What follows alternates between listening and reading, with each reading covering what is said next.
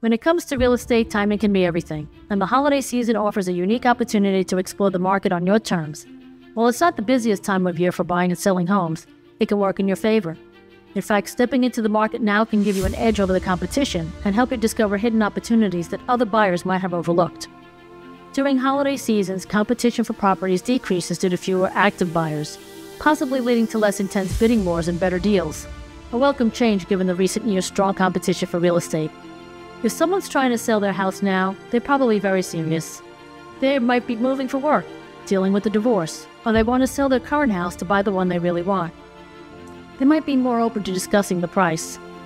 You don't have to buy a house during the holiday season, but if you start looking then, you can learn a lot about the housing market.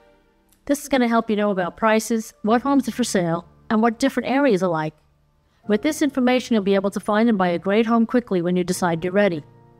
While it obviously depends upon your particular job and your work responsibilities, holiday vacations or slower work schedules can provide a bit more flexibility to browse listings, schedule some showings, and do some thoughtful research without the usual weekday hustle.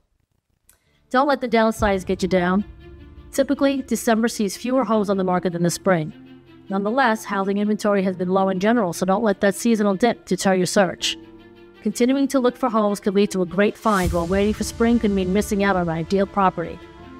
Remember that sellers might be busy with guests, preparing for a celebration, or just relaxing at their home, and they might not let you visit their house exactly when you want to see it. So be patient and considerate and arrange your visit for a time that suits both of you and the seller. Upon finding your dream home and having your offer accepted, parts of the buying process could take a little bit longer, a team of professionals like lenders, inspectors, appraisers, and little title companies are involved, and the delays may be due to availability during the holidays.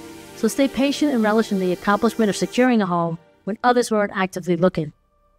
The takeaway? While it may not seem like the most festive activity, starting your home search during the holidays can be a smart move. You'll face less competition, encounter motivated sellers, and just get a jump start on understanding the market. Advantages that can be put ahead of the pack and the spring buying season heats up. Yes, there's some challenges like limited inventory and potential delays, but they're manageable with patience and flexibility. Even if you don't buy a home right now, getting familiar with the process and the market conditions will prepare you to hit the ground running in the new year.